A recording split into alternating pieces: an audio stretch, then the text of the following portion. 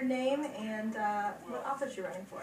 Uh, my name is uh, Dick Burrows, and I'm running for the town council of Danville? Danville. Okay.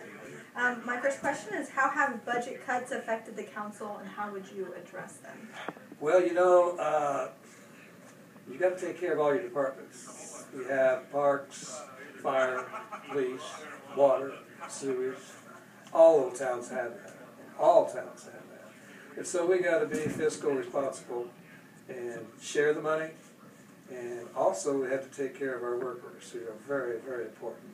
So I've always been a, a fiscal champion, I might call it, and I'm tight with the money.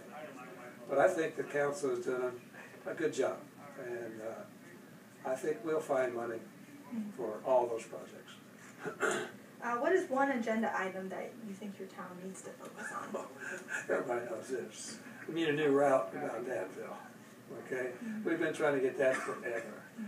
Uh, South, if you go south, we got the railroad track. If we go north, we got a huge uh, community building.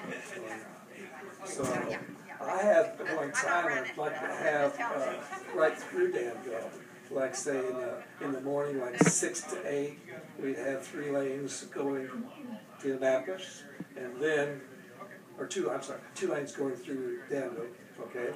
And then coming back, uh, when everybody comes back from four to six, changes around and have the same thing come back. You understand what I'm talking about? Yeah. Mhm. Indianapolis has things like that, you know. And so that would get more people through Danville, but it's a nightmare.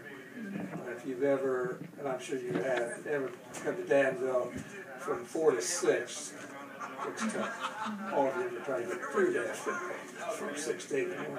So I'd like to try that experiment, you know, see. It's a nice thing to do. And I think we, we, our streets, highways are wide enough to do that.